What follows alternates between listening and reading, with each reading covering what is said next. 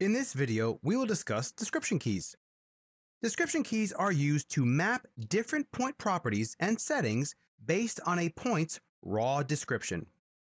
You can access the description keys in the Settings tab, Point Category, and then you have the Description Key Sets category.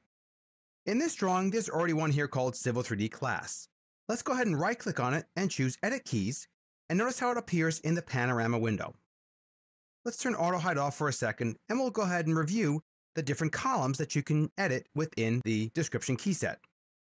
First off, we have the code column. Of course, the code column is the actual raw code being used by surveyors to actually describe the point that they may be locating on the ground. We have the style column, which is used to map the actual code to what style you want to use. Notice that there's an option when you click on this to actually set this to default. If you set this to default, what this will use is the active style defined in the current point group that's at the top of the list. We'll discuss point groups later on. You can also define a point label style to specifically lock in to the raw code. The format column is used to actually define your description. What's really cool about this is that you can actually control how your descriptions get defined using and leveraging data that may be stored in the actual raw description. Let's back up to the code column for a second. Notice that the majority of these have an asterisk at the end of it.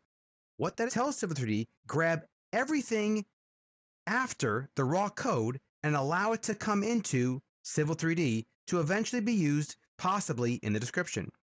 Notice how we have this one here called CNIF, and inside the format column, it says dollar sign one inch mark CNIF. The dollar sign one is the first parameter after the raw code to grab. So maybe the surveyor located the tree and put the actual size of the tree in there. Civil 3D will grab that and put it into the description automatically. Pretty cool. Let's create a new one and see what else you can do with that. I'll go ahead and right click anywhere over here and we can either copy or we can just say new. We'll go ahead and say new. And when we scroll down here, you'll notice that it puts it at the end. We want to create a description key for combination poles. The description code, COMB, and again, let's put the asterisk afterwards so that Civil 3D will grab everything after that. Note that you can sort these columns, and notice we have com asterisk there. Let's go ahead and find a default style to use. So we'll go ahead and pick a utility pole style. Click OK.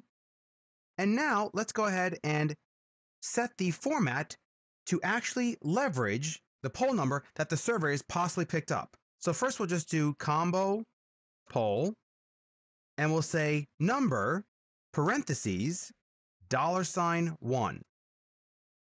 If they maybe added another one, you could actually put in here dollar sign two and so on. For now, we'll just go with dollar sign one and press enter. What layer should this go on? We'll go ahead and click on this one here and click over here. Note that if you do not define the layer for this to go on, Civil 3D will use the style, which is okay, except for the fact that what makes this functionality really very nice is the fact that you can actually use layer freeze command to freeze individual layers. Let's keep moving along here. We have the scale parameter, which actually allows you to scale the actual point based upon the actual parameter. Now with this one, I do not want to do that. So this would actually take that number and scale this block. That could be any number. However, with the tree, maybe we do. Maybe we want the trees to look a little larger and smaller based upon their actual size. The other columns here are basically how to apply different scale factors as well as a rotation parameter as well that you may want to use leveraging the actual setting defined after the raw code. Let's go ahead and view this actually working.